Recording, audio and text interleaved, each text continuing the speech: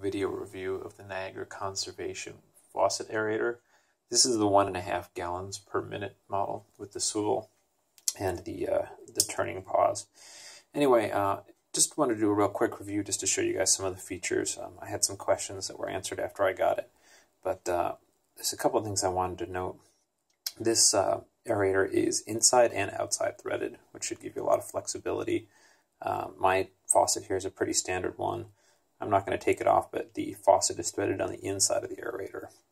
And uh, it fit just fine. No problem getting it on. And there's a small washer on the inside. Anyway, I just wanted to show off a couple of the nice features of this. I'm going to turn on the water right now. As you can see, there's a little switch here that allows you to change the water pressure pretty significantly. And that's not really the main feature. The main feature is this nice little turning knob around the outside that lets you vary between the spray. There you and the solid. Overall, it's pretty nice. Um, it does a nice job of not allowing too much flow.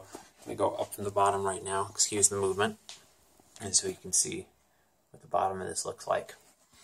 So it does a nice job of preventing too much water flow from getting through. There's a filter in the top and in the bottom and that keeps the water from blasting through. So we have fairly strong water pressure, and sometimes when you turn the faucet on, uh, the water would really blast out. But with this on there, it seems to really do a nice job of keeping everything nice and steady. You can see when I turn it on and off, water comes on smoothly and stays smooth the whole time. Anyway, it's a really nice aerator. I know people don't put too much thought into the aerators they get, but the one I replaced I really didn't have half the features of this one, and it didn't do a very nice job of keeping the water pressure even. So, been really happy with this one. Yeah, that's all for now. Thanks.